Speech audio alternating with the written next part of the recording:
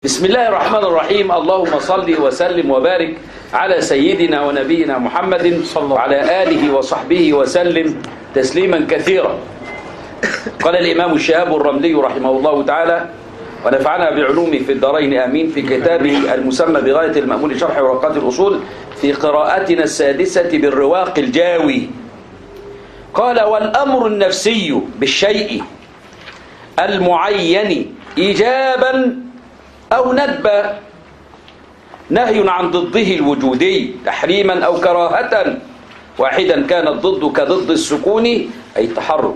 أو أكثر كضد القيام أي القعود وغيره. هذه المسألة انتبه لها لأن هذه المسألة بعض العلماء فرضها في النقيض وبعضهم فرضها في الضد. طيب الأول نتكلم. هنا في بعض المصطلحات لابد من إدراكها ومعرفتها. ما هو النقيض وما هو الضد؟ الضد هو الضدان أمران بينهما غاية المخالفة. لا يجتمعان وقد يرتفعان ويخلفهما ثالث. أمران أو أكثر. بينهما غاية المخالفة. غاية المخالفة يعني نهاية المخالفة التي تجعل عدم اجتماعهما أمرا محتما بينهما غاية المخالفة. لا يجتمعان أي في شيء واحد من جهة واحدة. وقد يرتفعان. هذان الضدان قد يرتفعان ويأتي ضد ثالث مكانهما. انظر إلى هذه أو هذا المنديل ما لونه؟ أبيض. أبيض. انظر إلى هذه ما لونها؟ أسود. السواد وجودي أم عدمي؟ وجودي حيث إننا أدركناه بحاسة البصر وكل ما أدرك بحاسة أدرك بحاسة البصر فهو وجودي. وهذا اللون أبيض. هل البياض والسواد في وقت واحد ومن جهة واحدة يجتمعان في مكان واحد؟ يكون هذا الشيء أبيض وهذا شيء في نفس الوقت. من هذه الجهة أسود. لا. فالبياض والسواد أمران وجوديان. بينهما غاية المخالفة. بينهما غاية المخالفة. لا يجتمعان أي في مكان واحد من جهة واحدة. وقد يرتفع البياض ويرتفع هذا اللون ويكون هذا المنديل في بعض صوره بهذا اللون اللون الأزرق وهو وجودي. فهذان الضدان أمران وجوديان بينهما غاية المخالفة. قد لا يجتمعان قطعا وقد يرتفع الضدين. ويأتي ضد ثالث يقوم بالمحل. عندنا حاجة اسمها نقيض.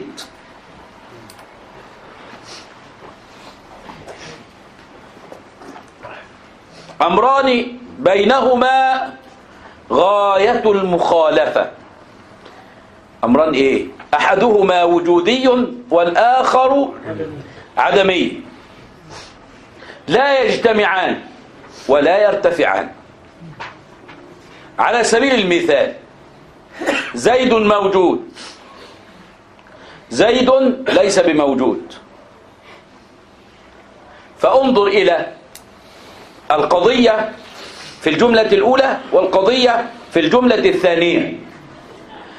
القضية في الجملة الأولى هو إثبات الوجود لزيد. وفي الجملة الثانية نفي الوجود عن زيد. فزيد لا يخلو من إما أن يكون موجودا أو إما أن يكون معدوما. وليس هناك ثالث للأشياء فإما أن تكون مثبتة وإما أن تكون منفاة وإما أن تكون عدمية. لكن هل يجتمع الوجود والعدم في زيد في وقت واحد أن يكون زيد موجود زيد غير موجود؟ فإذا اتحد الموضوع فلا يث... لا يسند له الإثبات ولا يسند له النفي في وقت واحد. طيب هنا بنتكلم في إيه؟ منهاج الإمام البيضاوي فرض المسألة في النقيض. وقال الأمر بالشيء نهي عن نقيضه. فالأمر بالصلاة قطعا نهي عن ترك الصلاة. الأمر بالصلاة معناه إيه؟ معناه طلب تحصيل الصلاة. فهو نهي أيضا عن النقيض الذي هو ترك الصلاة. فإذا أمرت بالصلاة أي أمرت بتحصيلها كان ذلك أيضا نهيا عن عدم تحصيلها. ولا خلاف في النقيض لأن الأمر بالشيء نهي عن نقيضه. وأما الأمر بالشيء فهل هو نهي عن ضده الوجود أم لا؟ ويا ترى لو قلنا إن الأمر بالشيء نهي عن ضده. يا ترى نهي عن ضده. يعني هو هو الأمر بالشيء هو عين النهي عن الشيء ولا يستلزم النهي عن الشيء. ولا هو لا عينه ولا هو مستلزم له. هذه مسألة طويلة وكل ما أتى به الشيخ هنا هو عين ما في المحل على الإمام تاج الدين السبكي. واحدة واحدة بقى. والأمر إحنا عرفنا الأمر وقلنا إيه؟ ها؟ ها استدعاء بالفعل إيه؟ آه آه الولد حافظها بيقول لك أهو استدعاء بالفعل. استدعاء بالفعل. استدعاء بالقول مش بالفعل. استدعاء بالقول ممن هو دونه على سبيل الوجوب. وشرحنا هذا التعريف. فهذا هو الأمر. الأمر إما أن يكون أمرا نفسيا وإما أن يكون أمرا لفظيا. الأمر النفسي معناه إيه؟ معناه أن يقوم بالذات طلب تحصيل الشيء. من غير أن تكون هناك عبارة تدل على ذلك. فالكلام في مقامين. المقام الأول في الطلب النفسي. والمقام الثاني في الطلب اللفظي الذي تدل عليه العبارة. طب هناك بيقول استدعاء الفعل بالقول. أنه قول؟ ممكن يبقى القول النفسي وممكن يبقى القول اللفظي. فيش مانع من أن يكون التعريف شاملا لهذا وذاك. لكن الكلام هنا فين؟ الكلام هنا في والأمر النفسي أخرج الأمر اللفظي لأن فيه كلاما آخر ولأن فيه طريقا ولأن فيه فرضا آخر من جهة الخلاف فيه. لكننا هنا نتكلم على الأمر النفسي يعني الطلب القائم بالذات بإيه؟ بالشيء. يعني إذا قام بالذات طلب للصلاة هل يكون الطلب الذي قام بالنفس بالصلاة نهي عن الأكل المفوت لها؟ نهي عن الشرب المفوت لها؟ نهي عن النوم المفوت لها؟ وهكذا إلى آخر ما يفوت الصلاة من الأضداد الوجودية. والأمر النفسي أخرج غير النفسي بالشيء.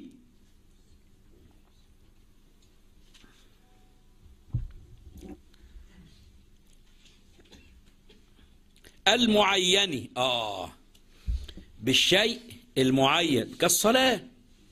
قام بالذات طلب تحصيل الصلاة. أولا الصلاة شيء. رقم اثنين معينة. إيجابا أو ندبا سواء كان هذا الطلب القائم بالنفس على سبيل الإيجاب بأن لم يجوز الترك. أو كان الطلب طلب ندب بأن جوز الترك. فالمسألة مفروضة في الطلب الوجوبي وفي الطلب الندبي.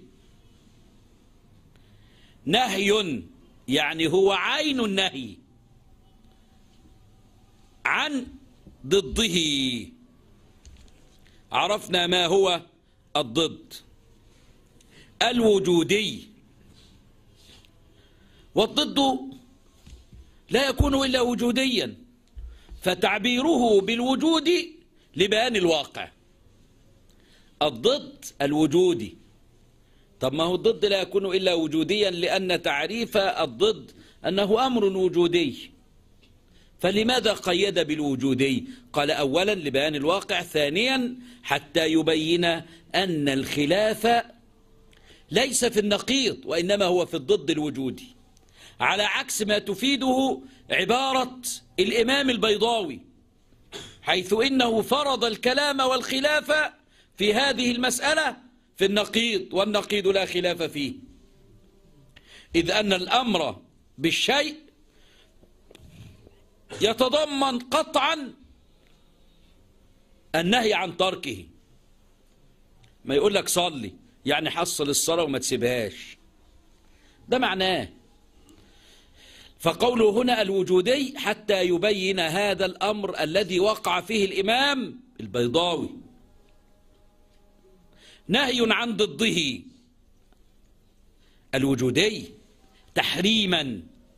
إن كان الأمر الذي قام بالذات أمر وجوب فيكون النهي عن الضد نهي تحريم.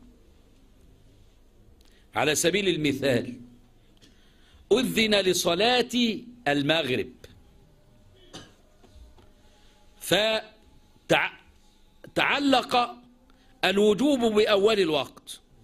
وصار الناس المؤمنون مأمورين بإقامة الصلاة.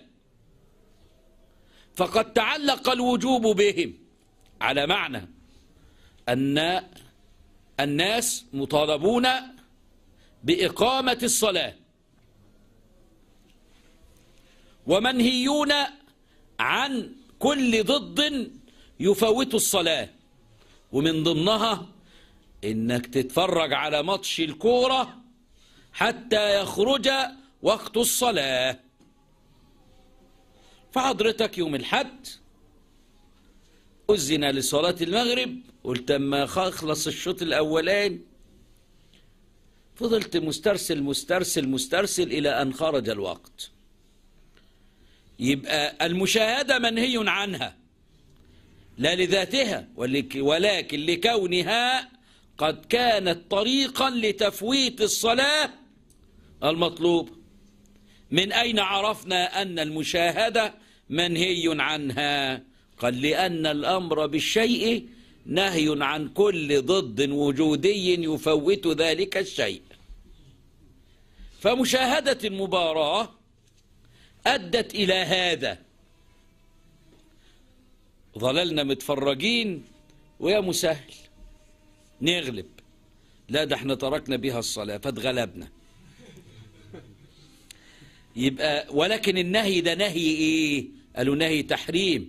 إن كان الذي ترك أمر وجوب أو كراهة. لو أنت سبت الصلاة الراتبة حتى خرج الوقت ومصلتهاش لكن إيه اللي, إيه اللي فوتها؟ فرجيتك على الماتش. يعني حضرتك قمت صليت المغرب ثلاث ركعات كنقر الديكة عشان تلحق يعني. قلت اما اتفرج. طب ما المشاهدة ديت ضيعت عليك السنة المؤكدة. يبقى المشاهدة التي ضيعت ركعتي السنة مكروه. على طريقة المتقدمين الذين لا يفرقون بين الكراهة وخلاف الأولى. أنا مذاكر. 30 سنة في الحدوتة دي. تحريما أو كراهة؟ واحدا كانت ضده يعني سواء كان الضد واحد. كالحركة ضدها إيه؟ السكون. والسكون ضده إيه؟ حركة لأن الشيء قد لا يكون له إلا ضد واحد. فإذا قال لك تحرك كان ذلك نهي عن السكون. طب الصلاة؟ لا لها أضداد كثيرة. صلي ضدها إيه؟ كل ما يخالف الصلاة شرب الأكل النوم استدبار القبلة كثير. يلا عد. قال واحدا كانت ضده كضد السكون أي التحرك. أو أكثر.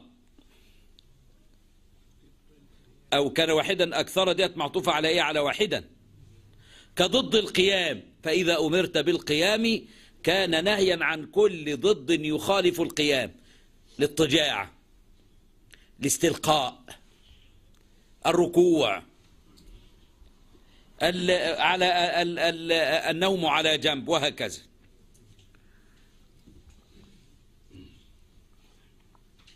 طب المذهب ده بيقول إيه؟ بيقول الرأي ده كده أهو كل الكلام ده من المحلي بيقول إن الأمر بالشيء هو عين النهي عن ضده. إيه يعني إيه عينه؟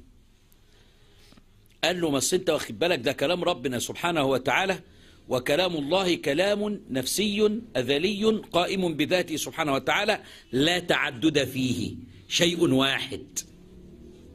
يعني إذا قام بنفسه طلب فهو بالنسبة إلى تحصيل الصلاة طلب. شيء واحد. وبالنسبة إلى ترك كل ما يخالف الصلاة شيء آخر. لكنه أمر واحد قام بالنفس. قد يكون في حالة إذا نظر إليه من جهة أمر وإذا نظر إليه من جهة أخرى نهي. لأن الشيء قد يكون واحدا ولكن تختلف النظر فيه. فالشيء قد يكون واحد ولكن تختلف الاعتبارات فيه. يراه أحدنا قريبا ويراه الآخر بعيدا. ولكن من رآني قريبا ومن رآني بعيدا هل اختلفت في الحقيقة؟ فالذات واحدة واختلفت الاعتبارات فيها. يراه بعضهم قربا وبعضهم بعدا. يبقى يتحد الشيء بالذات ويختلف بالاعتبارات. فإذا تعلق الطلب بذات الله سبحانه وتعالى فهو بالنسبة إلى تحصيل الشيء أمر. ونفس هذا الطلب بالنسبة إلى النهي عن الترك نهي. ولذلك قالوا إيه؟ الأمر بالنفسي بالشيء هو عين. يعني هو ذاته. ليس شيء آخر. ده المذهب الأول. وقيل وهو المذهب الثاني ليس عينه. يعني ليس هو هو. زينا كده أهو. أمال إيه؟ قال ولكن يتضمنه عقلا يعني في العقل. إيه بقى التضمن؟ قالوا المراد هنا من دلالة التضمن دلالة الالتزام. لأن دلالة التضمن قد تستعمل وتطلق ويراد بها الدلالة الاستلزامية. لأن الأصوليين الأصوليون يطلقون دلالة التضمن ويريدون بها الاستلزام خلاف المناطق لأن المناطق عندهم إما دلالة مطابقة وإما دلالة تضمن وإما دلالة التزام. دلالة التضمن إحنا عندنا دلالة المطابقة وهو دلالة اللفظ على تمام المعنى. وإذا دل اللفظ يعني على بعض المعنى من حيث إنه داخل في كل المعنى يبقى دلالة تضمن. وإذا دل على شيء خارج مرتبط به لا يتصور بغيره يبقى دلالة التزام. كمثلا البيت يدل على هذه الصورة القائمة. البيت من حيث إنه يدل على الغرفة من حيث إن الغرفة جزء من البيت. تضم. دلالة البيت على الباني وعلى المهندس دلالة إيه؟ التزام. الأمثلة دي سمعتها من شيخنا حفظه الله من حاجة وعشرين سنة؟ بسيط العلم بسيط بس انت تبسطه. وصعب لو أنا عايز أصعبه. بإيدك تفتح وتقفل. ولكن لما تعطي العلم سهلا يكون مقبولا عند الناس. وقيل إنه ليس عينه ولكن يتضمنه عقلا. وبه جزم القاضي أبو الطيب الطبري ونصره الشيخ أبو إسحاق. أبو إسحاق في كتاب التبصرة وابن الصباغ. ابن الصباغ ده صاحب الشامل. عارفين الشامل في مذهب الإمام الشافعي؟ وله الكامل في الخلافيات. كان بيرد فيه على سيدنا الإمام أبو حنيفة. اسمه إيه؟ الكامل بالكاف مش الشامل. نبه عليه الإمام الإسنوي في التمهيد. ونقله الشيخ أبو حامد أبو حامد المروزي. حدش يقول لي أبو حامد الغزالي. يبقى الواحد يقول لك مين أبو حامد؟ أول ما يقول لك وقاله الشيخ أبو حامد يبقى أبو حامد المروزي شيخ طريقة المراوزة. تقولش الغزالي الغزالي لو أرادوه لقالوا والغزالي معروف عندهم هكذا. تنبأ. أنا بديك حاجات يعني علمناها بعد زمن طويل. وسليم يعني سليم الرازي من أصحابنا الشافعية عن أكثر أصحابنا من الشافعية. يقولون إنه ليس عينه ولكنه يتضمنه أي يلتزمه يستلزمه عقلا. وعليه الإمام الرازي. الإمام الرازي صاحب المدرسة المعروفة والآمدي الآمدي برضك صاحب مدرسة معروفة. الرازي صاحب المحصول وصاحب التحصيل. وصاحب إيه تاني؟ والمنتخب. المحصول وال وال والمنتخب والمعالم. معلش. إيه ده؟ وأنا قلت التحصيل. معلش. فالأمر بالسكون يعني الأمر النفسي أي طلب السكون طلبا ذاتيا أي بالذات مثلا. أي طلبه. الأمر يعني إيه؟ يعني الطلب. متضمن للنهي عن التحرك. متضمن يعني يا مشايخ. يستلزم الله. أنا خلاص كده. اطمنت عليكم. روحوا. بقيتوا مشايخ كبار.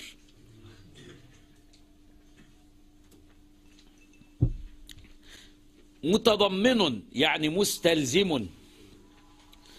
لزوم إيه يا مشايخ؟ لزوم عقلي. للنهي عن التحرك.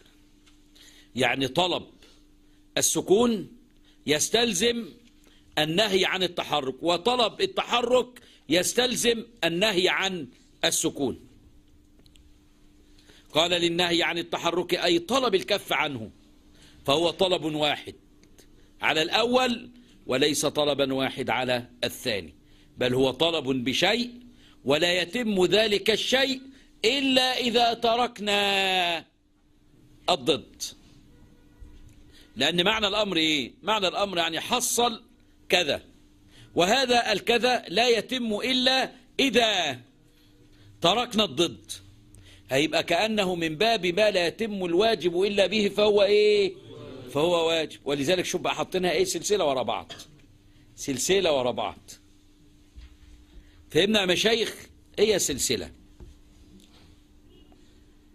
وهو نفسه بمعنى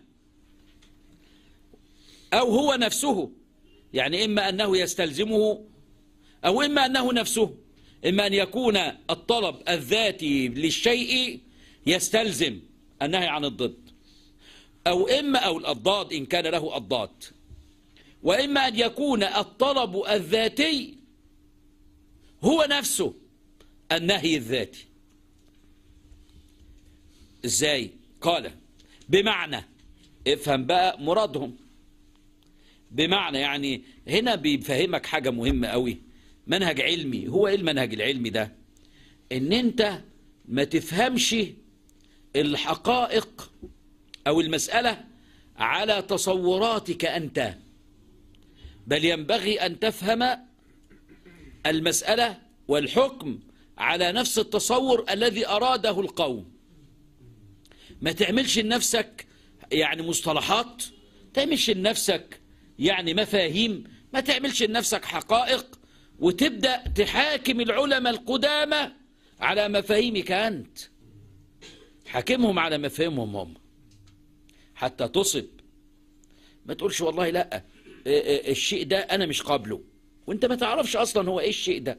مش لازم تتصوره وتتصوره عندهم وتعرف ضوابطه إيه وتعرف حدوده إيه ثم بعد ذلك تفرض فيه الكلام. لكن هنا بص بيعلمك بيقول لك أهو يعني إيه نفسه؟ يعني هو هو قال له على معنى. أن الطلب واحد. طلب إيه؟ طلب السكون. لكنه بالنسبة إلى يعني هو طلب واحد.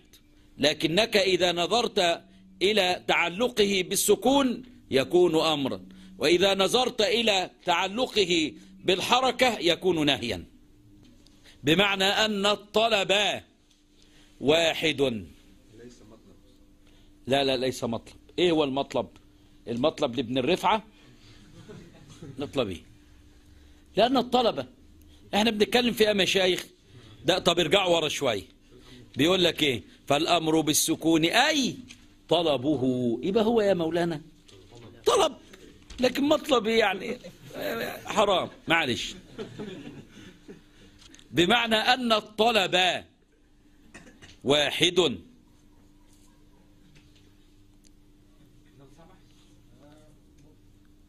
يا دي استنى. يا ده.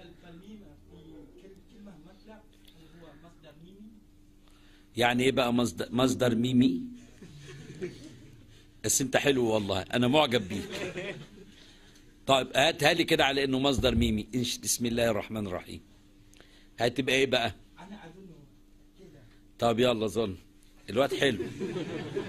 أنا أظنه. بقول لك ده تصحيف. لكن أنا أظنه. ومصدر العبارة مش كده. طب ماشي. هيبقى إيه بقى؟ طب ماشي كمل كمل أنا معاك. هيبقى معناها إيه بقى مصدر ميمي ميمي؟ صالح للزمان والمكان والحدث. صح؟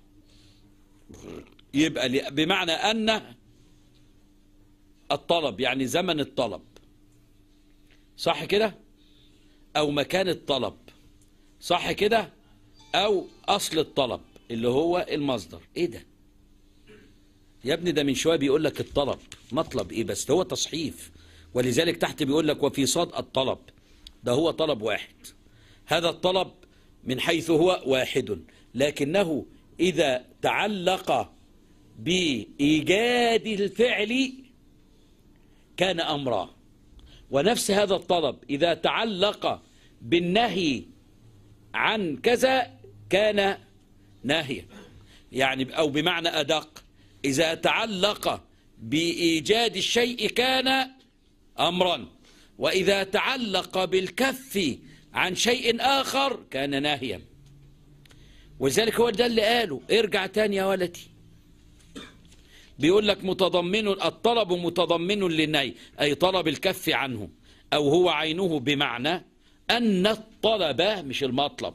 ده تصحيف. أو هو مش تصحيف هي تلاقيها في المخطوطة. يعني مرسومة بشكل الميم لكنها مش ميم هي عبارة عن إيه؟ عبارة عن رايش. رايش يعني إيه؟ يعني وهو جاي بيكتبها كده الحبر بتاع القلم تقل معاه ففرش. فاللي جاي بينسخها ظنها ميم. وهذا من أسباب التصحيف في الكتب. بس أنا شغال في الحاجات دي اشتغلت سنين في المخطوطات. وياما سهي عليا. وفي حد ما ما أخطأش. ياما سهي على الواحد مثل هذا. لكن بعد ضربة وبعد وقت الحمد لله أمكن الله سبحانه وتعالى من ضبط هذا الأمر. فانظر إلى المعنى. انظر إلى أصل العبارة. من من أخذ؟ واخد العبارة دي كده فصها ونصها من المحلي المحلي على جامع الجوامع. ودي عبارته في المحلي فيقول لك أن الطلب واحد. إذا أضيف إلى طلب تحصيل الشيء كان نهيا كان أمرا. وإذا أضيف إلى طلب الكف عنه كان نهيا. فهو طلب واحد. هو هو. لكن أخونا ولد حلو كويس أنا حبيته أنا بهبك كده هو هو مطلب. لا هو مش مطلب هو تصحيف. لكن هو مش مصدر ميمي. كويس. هو غلطان. بالنسبة إلى السكون أمرا وإلى التحرك نهيا. فاختلف باختلاف الإضافة والإسناد. شيء واحد لكن اعتباراته مختلفة.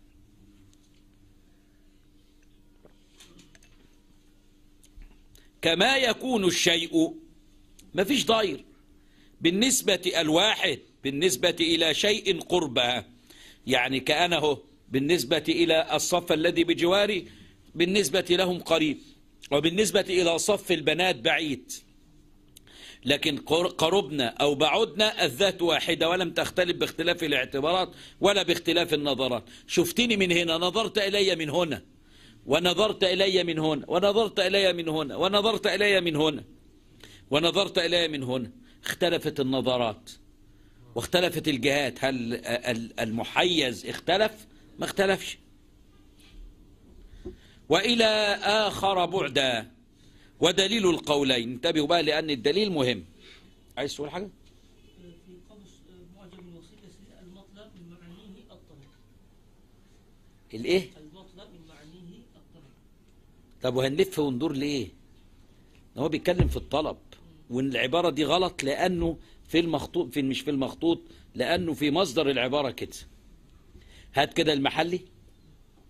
هتلاقي المحلي على جمع الجوامع نفس العبارة. وريني. ده إيه؟ آه. أنت ولد عميق. يا سلام انت عميق. ده يا مولانا الواد ده واد حلو. ده المحلي على جمع جوامع. قال الشيخ أبو الحسن والقاضي أبو بكر الأمر بالشيء بشيء معين إيجابا أو ندبا نهي عن ضده الوجودي. شوف شوف شوف إيه رجع تحريما أو كراهة واحدا كانت ضده كضد السكون أي التحرك أو أكثر كضد القيام أي القعود وغيره. هي نفس عبارة الإمام الرملي.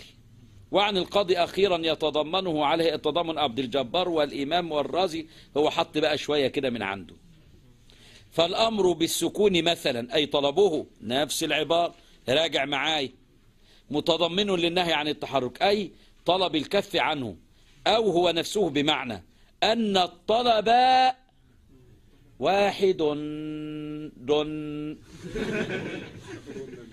وهو بالنسبة إلى السكون أمر وإلى التحرك نهي. كما يكون الشيء الواحد بالنسبة إلى شيء قربا. وإلى الآخر وإلى آخر بعدا ودليل القولين. دي تعملها سطر جديد. فهمت؟ تبقى وريني عشان أراجع تنسيقك. عشان ما تطلعش الكتاب وهش طيب يا مشايخ أهي عبارة المحل يا ولدي. المحل فين؟ على البدر الطالع. احسن مخلي بقى الكتاب ده معاك على طول. وإحنا بنقرأ الكتاب ده نشوف العبارات اللي وأنت معاك البدر. ونسيني خالص. طيب ها مولانا لكن انت بتناصر ابن بلدك. ضدي. ينفع الكلام ده يا مولانا؟ ماشي. ما هو أنا ماليش مصريين عشان ينصروني. ودليل القولين. بص بيقول لك وفي صاد أو طب ودي ده ينفع النبي وإلى آخر بعدا. وفي صاد أو. أو دليل القولين أو ده غلط راخر ولعلها اشتبهت عليه. لأنه هو ظن ممكن يكون ال- البعد مكتوبة بعد لوحدها و أو ال- الألف مع الواو مكتوبة بعد كده. فاشتبهت عليه. معاك المخطوطات؟ وريني المخطوطات.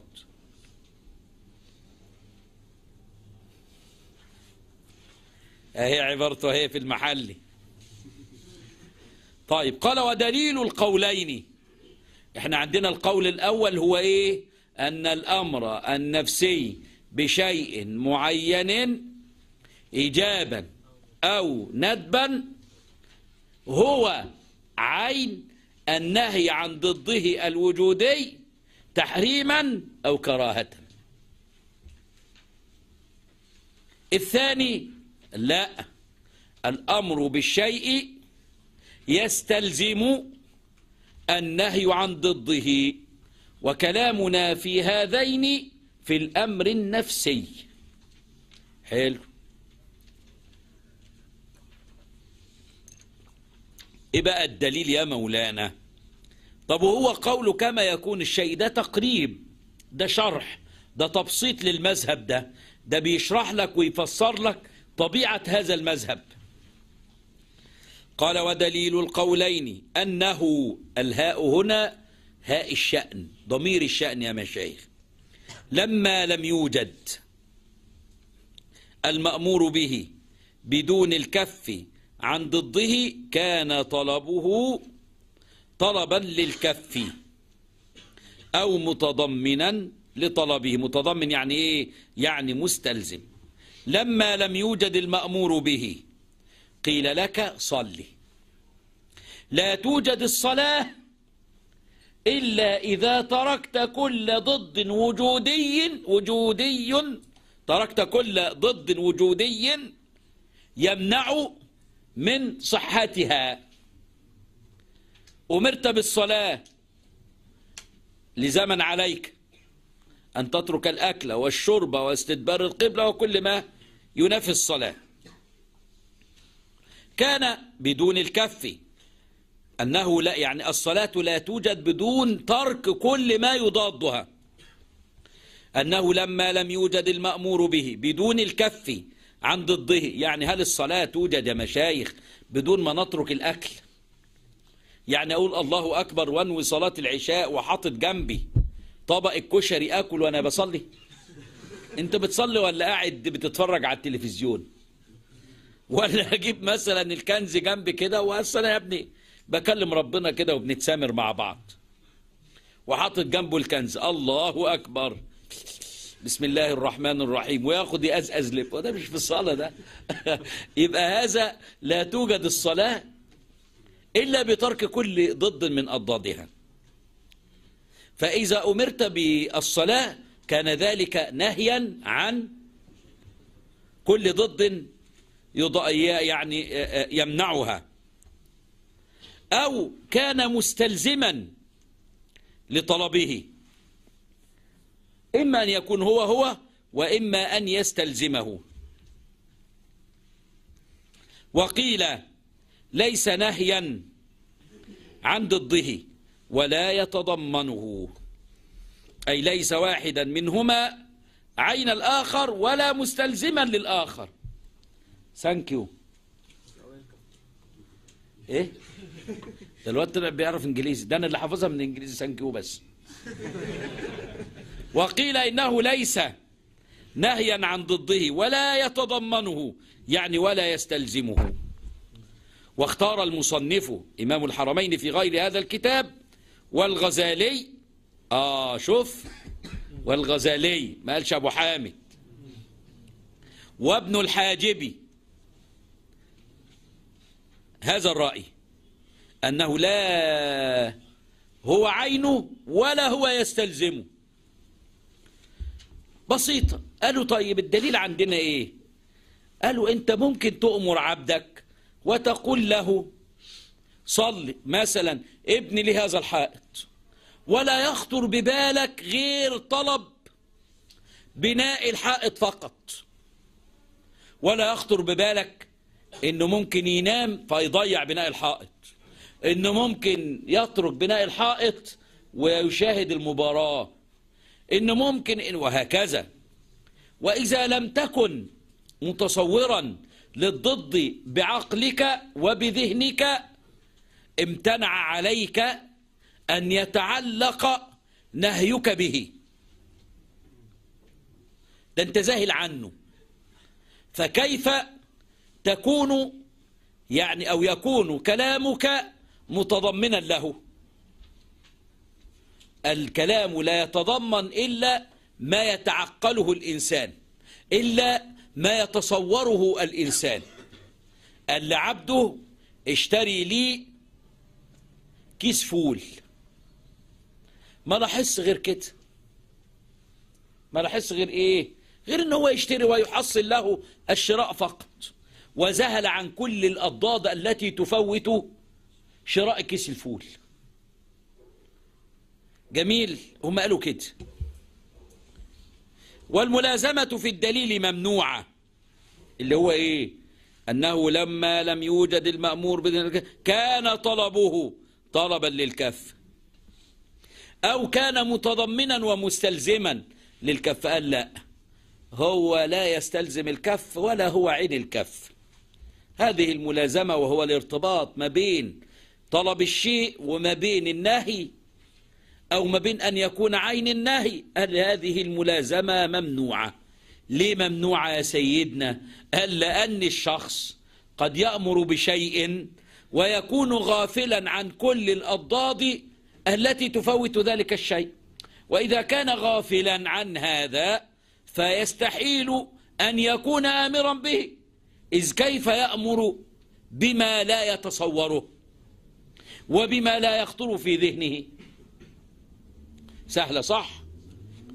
سيبك بقى أنا كاتب كده يعني إيه تفصيل وتقرير دليل كما هو موجود في الكتب لكن ده معناه والملازمة في الدليل ممنوعة لجواز ألا يحضر الضد بذهن الآمر مطلقا ولا يتصوره حال الأمر فلا يكون أي فينبني على ذلك أنه قد يكون ذاهلا عنه أنه لا يكون مطلوب الكف لأن الطلب معناه تعلق الإرادة بالمطلوب.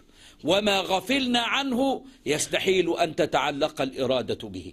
لأن الإرادة عايزة لها علم قبل كده. علم كاشف.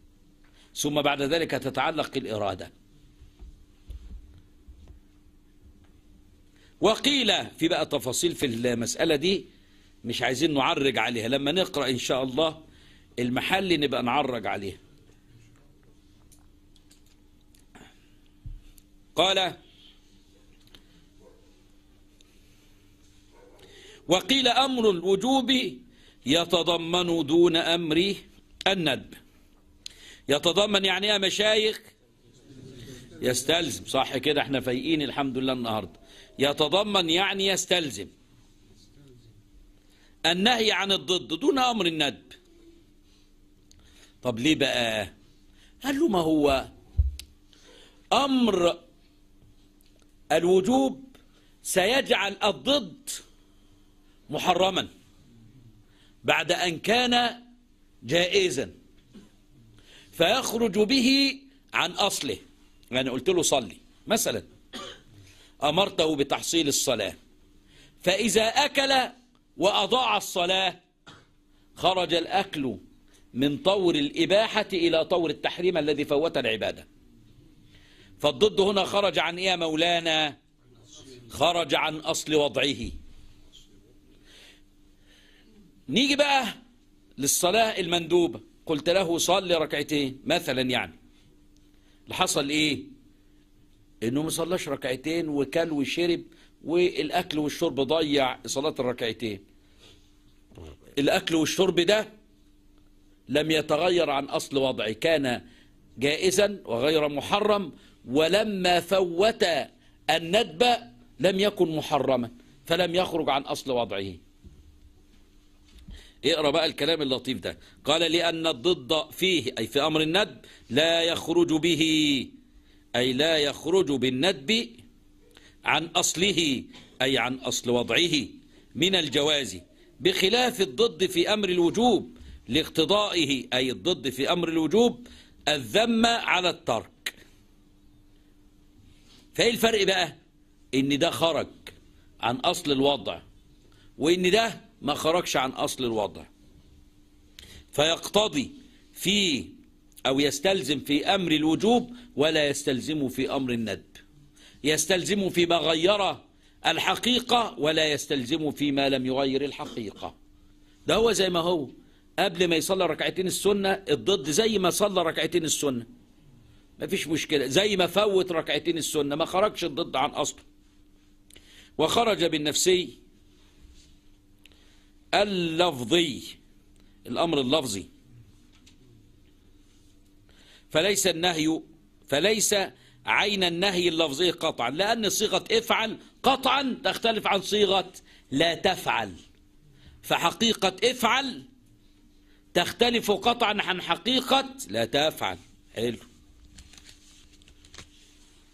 لأن صيغة افعل وصيغة لا لا تفعل مختلفان. قال لأن صيغة الأمر افعل وصيغة النهي لا تفعل ولا شك قطعا أنهما متغايران قطعا.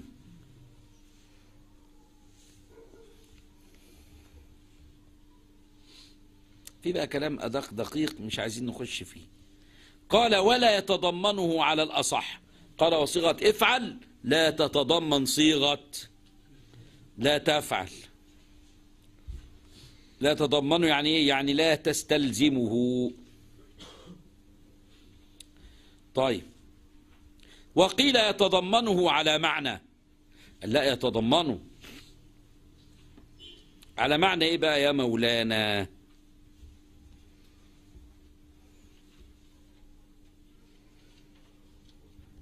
قال لأنه هو بيقول ولا يتضمنه وعللوا ذلك بقولهم. لأن تضمن شيء لشيء. لما في شيء يتضمن شيء. البيت ده متضمن للحجر. معناه إيه؟ معناه إن البيت ده مشتمل على هذه الحجر. والحجر دي جزء من أجزائه. لكن افعل لا شك أنها لا تتضمن لا تفعل. على أساس إن لا تفعل جزء من افعل. كما أن هذه الغرف جزء من البيت. ده معنى التضمن. قال لأن تضمن شيء لشيء معناه أن يكون مشتملا عليه ولا شك أن الأمر اللفظي غير النهي اللفظي.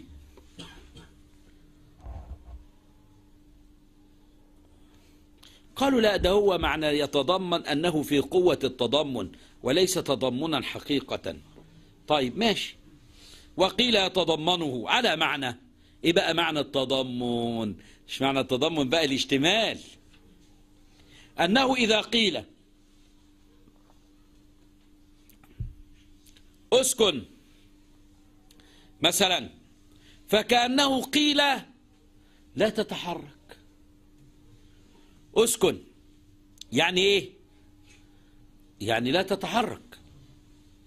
لماذا؟ قال لأن السكون لا يتحقق في الوجود إلا بترك الحركة. فلما كانت الحركة يتوقف عليها أداء السكون كان السكون لازما للحركة. وبالمعين أي وخرج بالمعين الذي ذكره في أول الكلام لأنه هو قال المعين. المبهم من أشياء. المبهم من أشياء على أساس إيه؟ فكفارته إطعام عشرة مساكين. من أوسط ما تطعمون أهليكم أو كسوتهم أو تحرير رقبة. فإذا تعلق الأمر هو تعلق الأمر هنا بإيه؟ بواحد مبهم. يبقى مش كلامنا فيه الأمر الذي تعلق بواحد مبهم. إنما كلامنا في الأمر الذي تعلق بواحد معين لا بواحد مبهم من أمور معينة. ليس الكلام فيها. فليس الأمر به نهيا عن ضده. ليس الأمر بوقت ليه؟ لأن لو أنا قلت نهي عن ضده يبقى لو أنا دلوقتي فعلت خصلة الكسوة يبقى أنا منهي عن الخصال الأخرى في حين إن أنا ممكن إن أنا أعدل عن الكسوة وأروح أطبق الخصال الأخرى؟ فما ينفعش لأنه يتحول الأمر إلى نهي والنهي إلى أمر. قال فليس الأمر به نهيا عن ضده منها. ولا متضمنا له قطعا. نعم. وبالوجود العدمي خرج العدمي لأن العدم ده قلنا بأنه متفق عليه قطعا أي ترك المأمور به. العدم اللي هو إيه؟ اللي هو ترك المأمور به. فالأمر نهي عنه. إذ يتضمنه قطعا ليه؟ لأن الأمر هو تحصيل للشيء ونهي عن تركه. لأن الأمر أو الوجوب ينقسم إلى حاجتين الإذن في الفعل والمنع من الترك. فالمنع من الترك جزء من حقيقة الوجوب. واخد بالك؟ فإذا قيل لك أوجبت عليك الصلاة معناها إيه؟ معناها أذنت لك في فعلها ومنعتك من تركها. يبقى حقيقة الوجوب منقسمة إلى هذين القسمين إلى الجنس اللي هو الإذن في الفعل وإلى الفصل الذي هو المنع من الترك. فصار المنع من الترك اللي هو النهي اللي هو الضد النقيض. صار جزء من حقيقة الوجوب. قال وبالعدمي فالأمر به نهي عنه فالأمر نهي عنه أي عن العدم عن النقيض. إذ يتضمنه إذ يتضمن الأمر النهي في هذه الصورة قطعا. يتضمن الأمر إيه؟ النهي عن النقيض. يتضمن الأمر النهي عن النقيض قطعا. قال والنهي النفسي هي نفس المسألة ولكن فرضها في النهي. لكن المسألة السابقة مفروضة في الأمر. قال والنهي النفسي. أخرج النهي اللفظي عن الشيء المعين. أخرج النهي عن واحد من أمور معلومة اللي هو الإيه؟ حرام المخير. المعين تحريما أو كراهة أي سواء كان على سبيل التحريم أو على سبيل الكراهة. أمر بضده أي بضد واحد. لأن الأمر بضد واحد يفوت الحرام ويفوت المكروه. أمر بضده أي أمر بواحد من أضداده. إيجابا إذا كان النهي نهي تحريم. أو ندبا إذا كان النهي نهي كراهة. يبقى هو هو هو عينه. كما سبق أن قلنا هو طلب واحد. إذا تعلق بالكف عن الشيء كان نهيا. وإذا تعلق بطلب الضد كان أمر.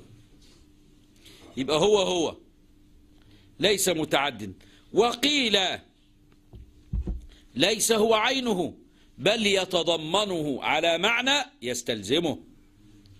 لأن المنهي لا يكف عنه إلا بالتلبس بضد من الأضداد التي تفوت المنهي. فإذا نهي عن الزنا فإنه يكون مأمورا بضد واحد فقط وهو إقامة الصلاة أو الكلام أو أو أو غيره من الأضداد التي تفوت. وقيل يستلزمه وقيل لا ولا. لا ولا. يعني إيه لا ولا مشايخ يعني ليس عينه ولا يتضمنه. يا سلام إحنا فهمنا الكلام أهو. هتلاقي عندك في المحل كده. وقيل إنه أمر بضده قطعا أي اتفاقا.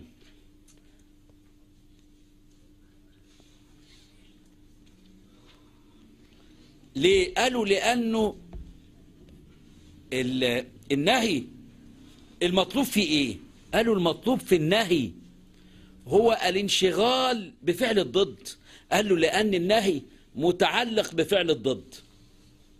فمعنى لا تشرب الخمر أي اشتغل بضد ذلك أي بضد ذلك الذي نهيت عنه. اللي بيتعلق النهي يتعلق بإيه؟ قالوا تعلق بالفعل الوجودي في قضية النهي بناء على أن النهي أو أن المطلوب في النهي فعل الضد. إيه المطلوب في النهي؟ النهي ده عبارة عن كف النفس وكف النفس إنما يكون حاصلا بفعل الضد. يبقى إيه المتعلقة إحنا بعدنا. المطلوب في النهي إيه؟ كف النفس ولا المطلوب في النهي فعل الضد؟ مذهبين. في مذهب بيقول لا كف النفس وفي مذهب بيقول لا ده فعل الضد.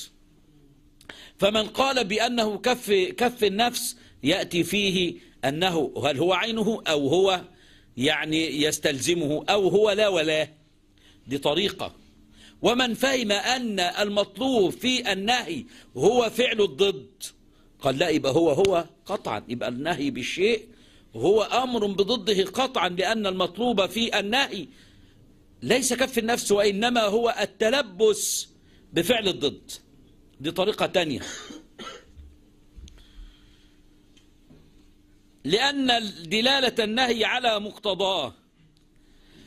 ودي بقى هنا عايز يفرق.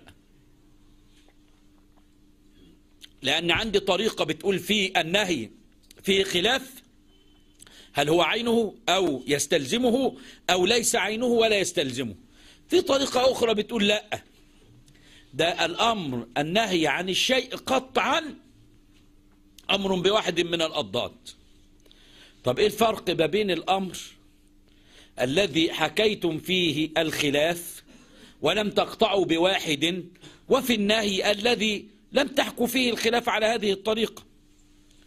قال الفرق بينهما إن دلالة النهي على مقتضاه أقوى من دلالة الأمر على مقتضاه. دلالة النهي على مقتضاه أقوى من دلالة الأمر على مقتضاه. هو النهي يدل على إيه؟ آه قيل بأنه يدل على كف النفس وقيل بأنه يدل على فعل الضد. أقوى من دلالة الأمر على مقتضى لأن المطلوب لأن مطلوب النهي فعل الضد. فمعنى لا تسرق على هذا تلبس بضد من أضداد السرقة. وهو ترك النهي. النهي يعني المنهي فهو مصدر أريد به اسم المفعول. ولا بد من حضوره في ذهنه. وأنا بقول له لا تسرق. ده لابد من حضور هذا الضد الذي يفوت السرقة في ذهني وأنا, آم وأنا أنهاه. ليه؟ قال له لأن المطلوب في النهي هو فعل الضد. فإذا كان المطلوب في النهي هو فعل الضد كان لابد من حضوره في ذهني عند نهيه له. فإذا قلت له لا تسرق كان لابد من حضور ضد السرقة في ذهني. وهي اشتغل بذكر الله. مما يفوت السرقة. قال لابد من حضوره في ذهنه. ولأن دي قضية تانية. النهي يستدعي درء مفسدة. النهي يستدعي درء مفسدة. مفسدة إيه؟ مفسدة قطع اليد في السرقة. مفسدة يعني مضرة يترتب عليه والمفسدة ديت إما أن تكون في الدنيا وإما أن تكون في الآخرة. فلما يقول له لا تسرق لأن حضرتك لو سرقت هتقطع يدك لو سرقت هتأثم. فصار النهي عن السرقة من أجل دفع هذه المفسدة التي تترت- تترتب على السرقة. والأمر جلب مصلحة تحصيل. صلي من أجل أن تحصل الثواب. لا تسرق من أجل أن تدفع العقوبة. واعتناء الشارع بدرء المفاسد. أكثر من اعتناء الشارع بجلب المصالح. ده كلام الشارع هنا وده هتلاقيه عندك يا ولدي.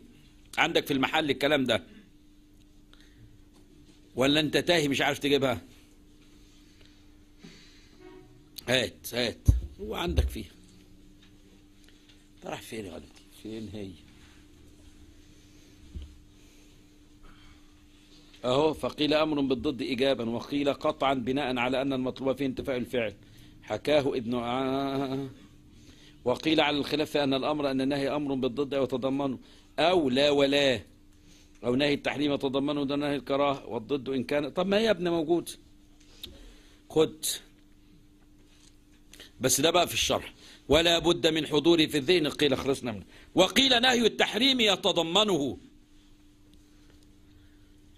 آه، دون نهي الكراهة.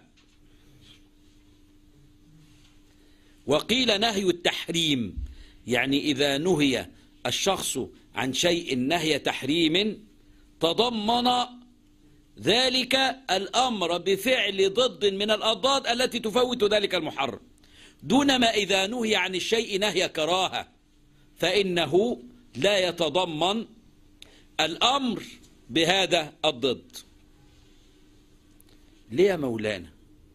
قال له نفس الفكرة التي مضى ذكرها وهو أن الضد في النهي هيتحول إلى واجب. والضد في الكراهة لن يخرج عن أصله. فهمنا؟ قال له لا تسرق. الذكر حائل مثلا أو كان مفوتا للسرقة. صار عليه أن يذكر الله ذكرا واجبا. فقد تحول الذكر من جائز إلى واجب. طب لو قال له مثلا لا تشرب الماء البارد عشان في احتمال انه يوجع لك سنانك يضر سنانك. ولكن هذا على سبيل مثلا يعني الكراهة. يبقى بلاش آكل أمال هضيعه إزاي؟ هقعد أذكر ربنا. فخرج الذكر هنا من طور الجواز إلى طور الندب فما زال دائرا في طور الإيه؟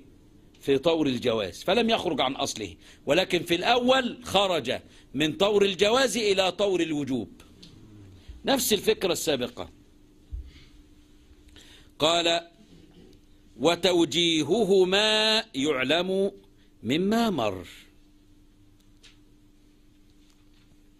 والضد إن كان واحدا كضد التحرك فظاهر أي فظاهر جريان الخلاف المتقدم فيه أو أكثر كضد القعود. ضد القعود يعني لا تقعد. معناها إيه؟ استلقي نام أقف اجري طير في الهواء أضداد كثيرة فالكلام في واحد منها يعني فالمأمور بفعله أمر إيجاب إنما يكون واحد من جملة هذه الأضداد. أيا كان أيا كان هو والنهي اللفظي يقاس بالأمر اللفظي. فصيغة النهي لا تفعل وصيغة الأمر افعل. وبينهما خلاف كبير لأن هذه الصيغة ليست هذه الصيغة قطعا. والنهي وفي نسخة وهو هذه إن شاء الله سنجعلها في لقاء قادم إن شاء الله تعالى. طيب.